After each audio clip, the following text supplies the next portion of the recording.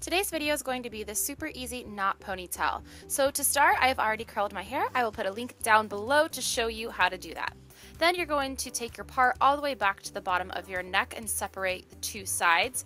And then take your hands and softly just kind of finger comb it back to where it's going to be smooth and kind of stay in the direction that we're going to be having it for a back ponytail. Once you have that done, take both of your sides to the back and make sure that you have all of your hair up in two little pigtail ponytails. Then you are going to take one side and cross it over the top of the other. We're basically going to be doing our hair kind of like you tie a shoelace. So once you've crossed the right over the left, you're going to bring the left side, which is now underneath, and flip it through the center of that hole.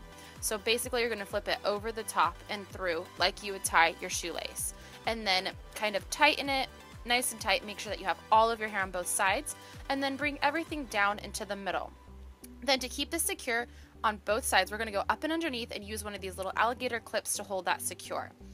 Then we're going to take bobby pins and using a few for each side, bobby pin right at that base where your knot is so that it's going to keep it nice and secure.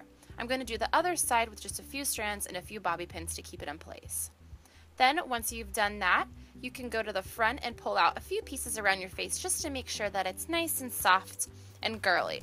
And then if you need to, you can grab a soft holding hairspray and spray it over it to finish your style.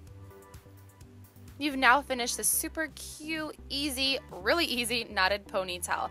I hope you guys haven't enjoyed this look so much. And don't forget to check out my other videos like my April favorites that you can find in the description box or on my channel.